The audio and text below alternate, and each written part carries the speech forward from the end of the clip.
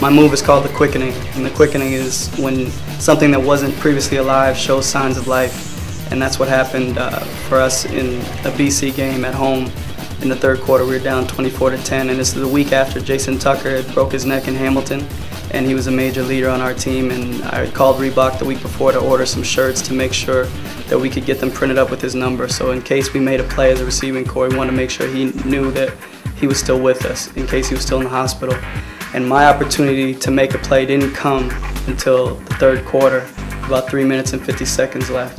And I remember when I was a kid in Highlander, when we would take, we would cut the other immortal's head off and absorb all his power.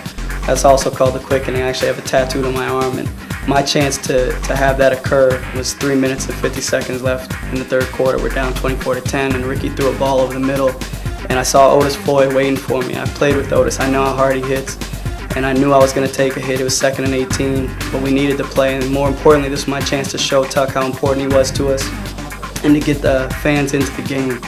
And uh, so I went up for the ball and landed about six yards away after he hit me. But my natural instinct as a fighter is to get up and get up quickly, and I did. And Otis stayed down for a little bit of time, and I was able to lift my shirt up and show Tuck that he was with us. And it seemed like as I lifted my shirt up, the whole crowd, you know, all 40,000 people stood up with me and our sidelines was invigorated from it and their sidelines was deflated. So that's why I named my move the quickening because we were a dead team prior to that and on the verge of flatlining. And we were able to show signs of life after that for the rest of the season. And we came back and won that game and came back from that 14 point deficit and, and that kind of sparked us. Throw in, you've seen them have success in the red zone with the draw play.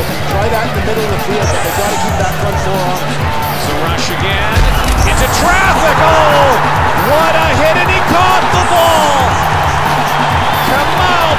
For Jason Tucker. Wow! My thoughts exactly. Kamau Peterson's going straight down the seam on this one. Ricky Ray lays it up, and I think we all cringed a little bit here. But Kamau Peterson